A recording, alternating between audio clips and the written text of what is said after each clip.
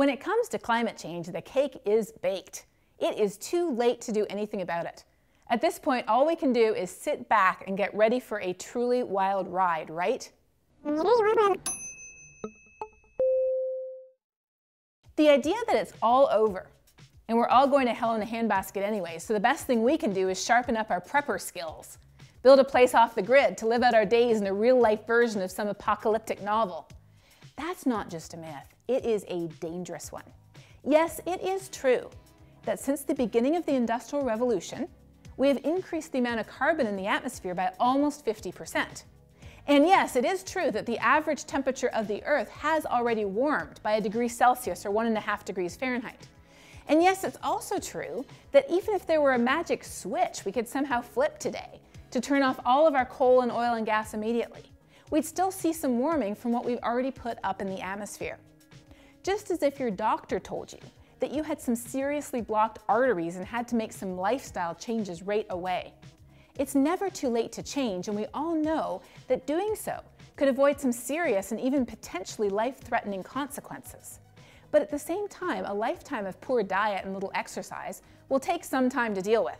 And it is true, there are some, like the tribes in Louisiana who are becoming climate refugees after persistent flooding is forcing them to relocate, or the people of Kivalina in Alaska who are seeing the permafrost their homes are built on thaw and crumble out from under them. They are already experiencing dangerous impacts. But the quicker we wean ourselves off of our dirty old ways of getting energy, the less temperature change we'll see and the lower the risk of serious and even very dangerous impacts will be for all of us. Our choices today will make a big difference to our future. That's why I decided to go to the climate talks in Paris in December of 2015. I went to France not just as a scientist, I went as a human, as a mother, and as a person who believes that we have to act.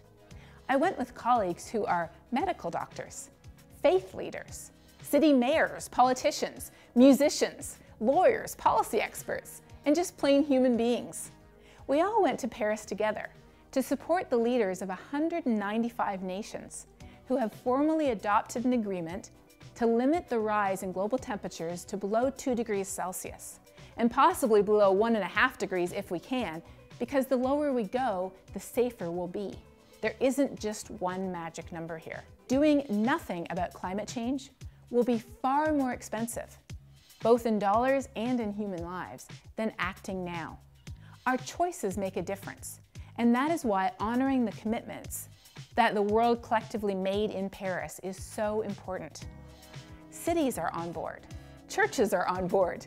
Companies are on board. We need the fossil fuel industry on board too. After all, they're the ones involved in extracting and producing the fossil fuels that are the main reason we're in this situation to begin with.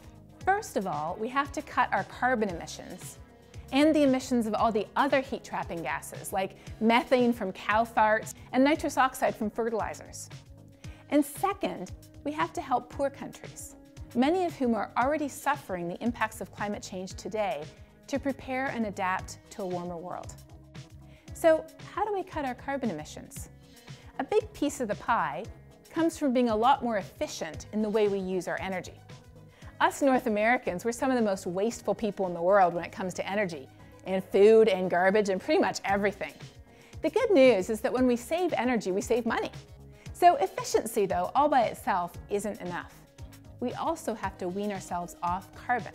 And we are already a good ways down that path today. Wind and solar energy is booming, not just here in North America, but even on the other side of the world, where China is the world leader in producing energy from both wind and sun. But the reality is, it's hard to do in time when the true cost of the carbon we burn is not being reflected in the price we pay at the pump or in our electricity bill. We need to get rid of our old, dirty energy, like coal-fired power plants, even faster than we already are. We need new technology to be developed and implemented, from solar shingles to giant wind turbines in the air or under the water, faster than it is today. And we need a price on carbon that lets the market pick the winners and the losers. Would a price on carbon really work? You can ask the province of British Columbia. They've been doing it for almost a decade now. In 2008, they implemented what they call a revenue neutral carbon tax. In other words, it returns now about a billion dollars a year to taxpayers. British Columbia now has the lowest personal income tax rate in Canada and one of the lowest corporate tax rates in all of North America. All this is fine and good, but how can we help poor people in Africa, Southeast Asia, and even Latin America at the same time? Developed countries have produced the majority of carbon emissions. Yet developing nations bear the brunt of its impacts because they are the most vulnerable. And they're the least responsible for this problem. According to Oxfam, the poorest half of the world has only produced 10% of global emissions. That's why in Paris, the have nations pledged to financially support the have not nations through a green climate fund that's meant to help support both climate mitigation and adaptation efforts. Mitigation because energy poverty is real. There's over a billion people around the world who don't have access to electricity. And the answer to climate change isn't to freeze them in their tracks and return us all to the Stone Age. Nor is it, as some have argued, that poor nations need more fossil fuels and that greater tragedies can be avoided by simply using them than by not. There's a giant hole in that argument. Do poor nations have big reserves of fossil fuels? With a few exceptions, no, they don't. Of the world's remaining coal and oil and gas reserves, just 6% lie in all of Africa and 3% in Southeast Asia. We all do need energy to rise out of poverty and to build resilience to a changing climate. And that is why the Green Climate Fund focuses on both adaptation and mitigation to help the poor prepare for the impacts of climate change, while at the same time accelerating their development and their ability to produce clean energy. When it comes to climate change, it's not too late to act yet, but the window of opportunity is closing fast. That's why it's so important to tell our leaders we support the Paris Agreement and why it's so important for each of us to do our part now, before it really is too late. Thank you for watching Global Weirding.